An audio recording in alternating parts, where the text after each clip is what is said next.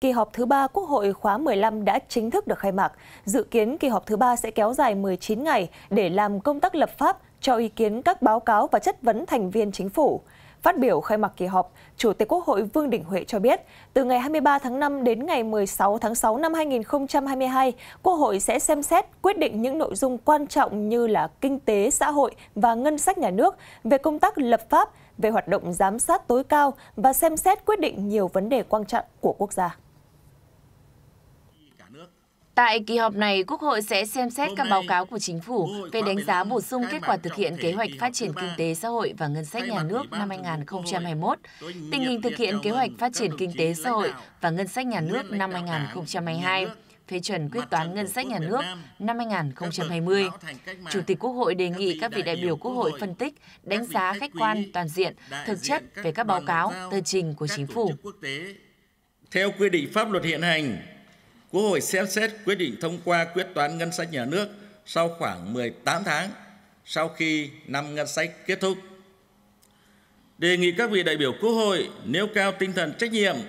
không coi đây là việc đã rồi,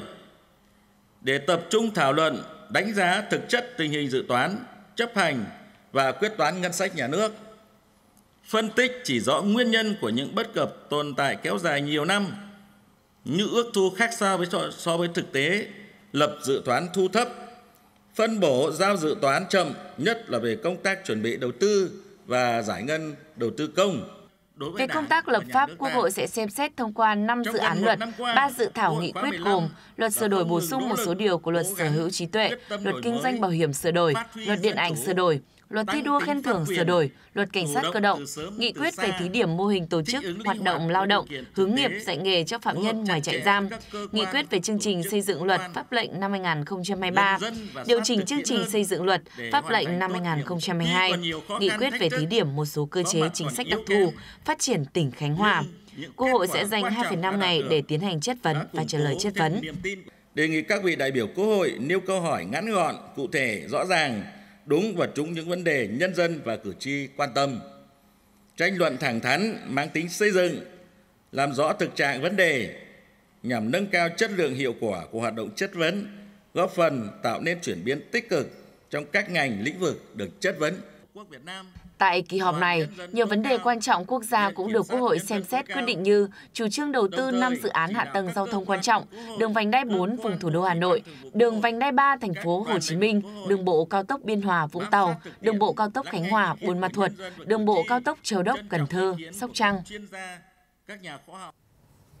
Thưa quý vị, hôm nay ngày 23 tháng 5 tại Hà Nội, Trung ương Hội Nông dân Việt Nam phối hợp với tỉnh Sơn La tổ chức họp báo thông tin về Hội nghị Thủ tướng đối thoại với nông dân Việt Nam năm 2022 và chuỗi sự kiện Festival Trái cây, sản phẩm ô cốp Việt Nam được tổ chức tại tỉnh Sơn La. Tham dự và chủ trì buổi họp báo có lãnh đạo Trung ương Hội Nông dân Việt Nam, lãnh đạo tỉnh ủy, Ủy ban nhân dân tỉnh Sơn La, theo ban tổ chức, các sự kiện trên sẽ được diễn ra trong 2 ngày 28 và 29 tháng 5 với sự tham dự và chủ trì của Thủ tướng Chính phủ Phạm Minh Chính tại tỉnh Sơn La. Trong đó, trọng tâm hội nghị là Thủ tướng Chính phủ sẽ đối thoại với nông dân Việt Nam diễn ra vào buổi sáng ngày 29 tháng 5 tại tỉnh Sơn La cùng với 62 điểm cầu trên cả nước. Tiếp nối thành công của ba hội nghị Thủ tướng Chính phủ đối thoại với nông dân Việt Nam vào tháng 4 năm 2018 tại tỉnh Hải Dương, tháng 12 năm 2019 tại thành phố Cần Thơ và tháng 9 năm 2020 tại Đắk Lắk. Trung ương Hội Nông dân Việt Nam chủ trì phối hợp với tỉnh Sơn La sẽ tổ chức hội nghị Thủ tướng Chính phủ đối thoại với nông dân Việt Nam lần thứ tư vào ngày 29 tháng 5 năm 2022. Với chủ đề tiếp sức hỗ trợ nông dân thực hiện tầm nhìn phát triển nông nghiệp, nông thôn bền vững Hội nghị sẽ diễn ra dưới sự chủ trì của Thủ tướng Phạm Minh Chính, cùng 500 đại biểu có mặt trực tiếp tại Trung tâm Hội nghị tỉnh Sơn La. Trong đó có 300 nông dân tiêu biểu đại diện cho 12 triệu hộ hội viên nông dân cả nước. Theo ban tổ chức, tính đến trước ngày 23 tháng 5, đã có hơn 1.600 câu hỏi, đề xuất, kiến nghị được gửi tới người đứng đầu chính phủ. Có một số nội dung chính mà nông dân, doanh nghiệp quan tâm như tình hình giá cả vật tư nông nghiệp như phân bón, thức ăn chăn nuôi, thuốc bảo vệ thực vật tăng cao, do ảnh hưởng của dịch bệnh COVID-19 đang tác động nặng nề đến sản xuất nông nghiệp, các vấn đề liên quan đến những bất cập trong quản lý, sử dụng đất đai và nhiều ý kiến, kiến nghị cần sớm sửa đổi luật đất đai. Vấn đề về thúc đẩy liên kết, hợp tác, phát huy tốt hơn nữa vai trò của các hợp tác xã nông nghiệp, vấn đề khó khăn về nguồn vốn cho sản xuất nông nghiệp, tình trạng ô nhiễm môi trường ở nông thôn, bảo tồn và phát huy các giá trị bản sắc văn hóa nông thôn, đặc biệt là các chính sách, chiến lược liên quan đến việc phát triển nông nghiệp, nông thôn bền vững, căn cơ.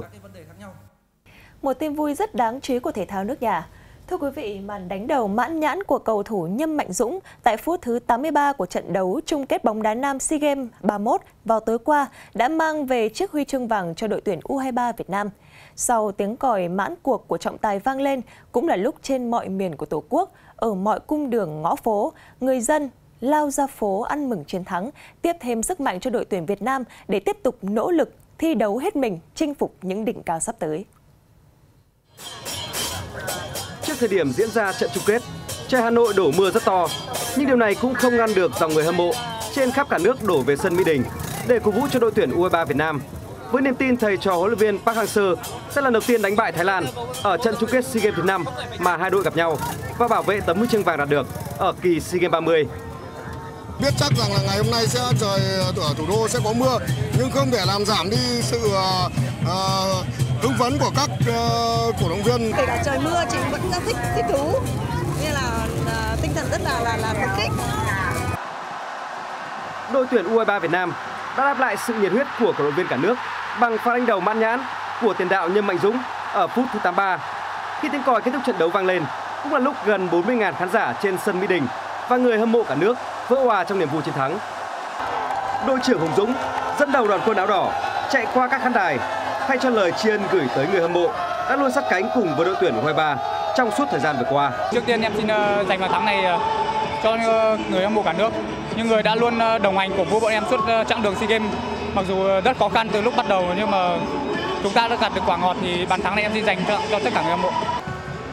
Cả bốn đồng chí lãnh đạo Đảng và Nhà nước là Chủ tịch nước Nguyễn Xuân Phúc, Thủ tướng Chính phủ Phạm Minh Chính, Chủ tịch Quốc hội Vương Đình Huệ và Ủy viên Bộ Chính trị, Thường trực Ban Bí thư Võ Văn Thưởng đã xuống sân để chúc mừng và trao huy chương vàng cho đội tuyển U23 Việt Nam.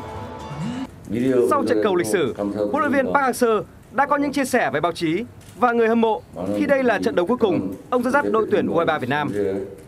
Với tư cách là huấn luyện viên trưởng của đội tuyển U23 Việt Nam, có lẽ đây là trận đấu cuối cùng của tôi. Điều này khiến tôi càng cảm thấy có nhiều trách nhiệm hơn. Tôi xin gửi lời cảm ơn tới nhân dân Việt Nam, người hâm mộ bóng đá. Tôi xin gửi lời cảm ơn đến chính phủ Việt Nam, các ban ngành đơn vị, cá nhân hữu quan. Tôi xin gửi lời cảm ơn đến toàn bộ ban huấn luyện đã hoàn thành nhiệm vụ để có kết quả tốt như hôm nay. Một lần nữa, tôi xin gửi lời cảm ơn đến các cầu thủ của tôi. Những cột mốc lịch sử đã được thiết lập. Lần đầu tiên, bóng đá Việt Nam đánh bại Thái Lan ở SEA Games. Đáng nói hơn, U23 Việt Nam vô địch SEA Games 31 mà không để thủng lưới bất kỳ bàn nào.